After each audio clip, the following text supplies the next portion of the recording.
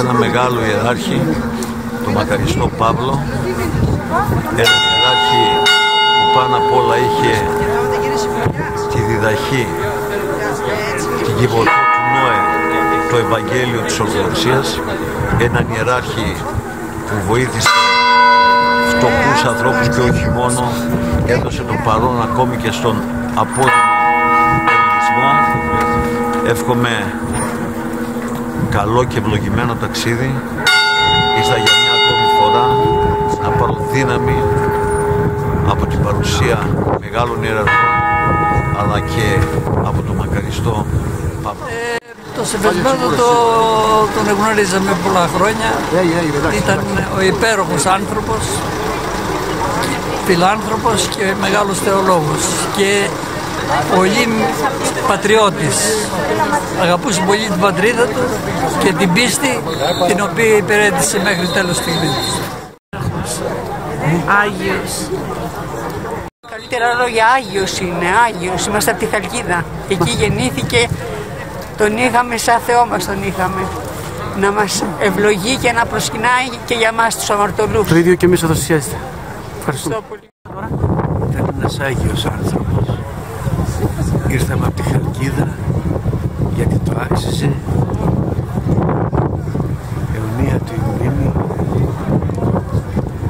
και πάντα να υπάρχουν τέτοιοι άνθρωποι και τέτοιοι δεσποτάδες, τέτοιοι πατέρες σαν τον Πάτερ Παύλο. Ευχηθούμε ε, μακαρία η οδός η πορεύση υπερβολή. Περίπτωση φαινόμενο ο μακαριστός και όπως και ο προκάτοχος του Αντώνης. Εάν η Ιερασύνοδος δεν βρει κάποιο αντικαταστάτη εξίσου, αν όχι εξίσου κάπως να υπάρχει μια έτσι, αντικατάσταση σωστή, έχουμε πρόβλημα στη Σιάτιστα. Γιατί ευτύχησε η Σιάτιστα να έχει δύο Μητροπολίτες άξιους και φοβάμαι ότι δεν υπάρχουν σε πανελλήνια κλίμακα άλλοι Μητροπολίτες ε, σαν τον προκάτοχο τον μακαριστό Αντώνιο και τον σημερινό μακαριστό ε, Παύλο. Από πού έρχεστε; Από Χαλκίδα. Άγιος άνθρωπος. Με μία λέξη. Ένας Άγιος άνθρωπος. Ο Μητροπολίτης Παύλος ήταν μία όραση. Ήταν μία ανάπτυξη της ψυχής μας. Χαρακτηριζόταν από τη δυναμικότητα που χρειάζεται σε μια εποχή που όλοι σκύβουμε και υποτεσσόμαστε στα συμβαίνοντα με τη σκέψη ότι δεν μπορούμε να κάνουμε κάτι.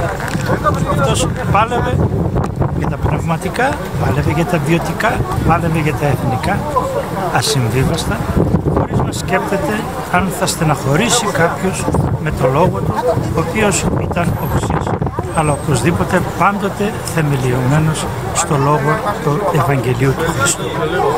Ο Θεός να τον αναπαύσει και εμείς θα τον θυμόμαστε πάντοτε με τις καλύτερες των αναμνήσεων που άφησε σε όσους τον γνώρισαν από κοντά.